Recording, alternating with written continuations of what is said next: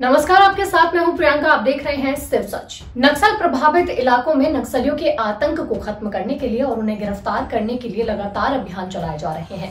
और ऐसे में छत्तीसगढ़ के बीजापुर और दंतेवाड़ा में डीआरजी के जवानों ने रविवार को पाँच नक्सलियों के स्मारक को तोड़ गिराया है। और अब इन इलाकों में नक्सली का एक भी स्मारक नहीं बचा है। चलिए आपको बताते हैं की आखिर किन नक्सलियों के स्मारकों को तोड़ा गया है। छत्तीसगढ़ के बीजापुर और दंतेवाड़ा में बने नक्सलियों के स्मारक को डीआरजी के जवानों ने ध्वस्त कर दिया है। बता दें कि यहाँ पाँच नक्सलियों के स्मारक बने हुए थे। इनमें दंतेवाड़ा में एक आठ लाख रुपए इनामी महिला नक्सली का स्मारक बना हुआ था और बीजापुर में भी जवानों ने तीन नक्सलियों के स्मारक को तोड़ गिराया है। मीडिया रिपोर्ट के मुताबिक पुलिस का दावा है की अब इन इलाकों में एक भी नक्सली का स्मारक नहीं बचा है। इस बात की पुष्टि दोनों जिलों के पुलिस अफसरों ने की है। बता दें कि डीआरजी के जवान सर्चिंग पर निकले थे। इसी दौरान सूचना मिली कि बुरगुम गाँव में कुछ महीने पहले ही नक्सलियों ने स्मारक बनाए हैं, जिसके बाद जवानों ने वहाँ पहुंचकर इन स्मारकों को जड़ से तोड़ फेंका है। मीडिया रिपोर्ट्स के मुताबिक एसपी अभिषेक पल्लव ने बताया कि जिस नामी महिला नक्सली का स्मारक था, वो विजय 2017 में बुरगुम में हुई पुलिस मुठभेड़ में मारी गई थी। तो वही दूसरे नक्सली अनिल को सुकमा के बुरकापाल में जवानों ने मुठभेड़ में मार गिराया था। आपको बता दें कि नक्सलियों के सबसे ज़्यादा स्मारक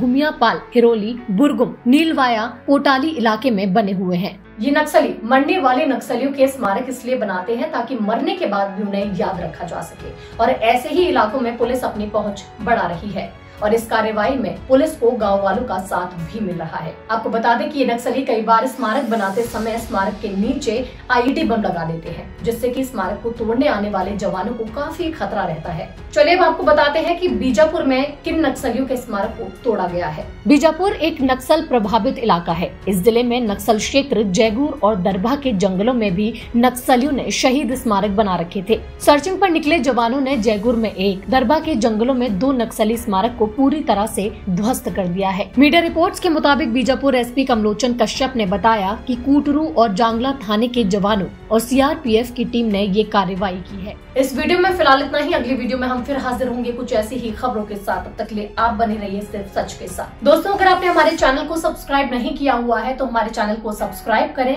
साथ ही आपको ये वीडियो कैसा लगा कमेंट करके हमें ज़रूर बताएँ। और बेल आइकन पर क्लिक करना ना भूलें, ताकि हमारी खबरों का नोटिफिकेशन आप तक सबसे पहले पहुँच सके।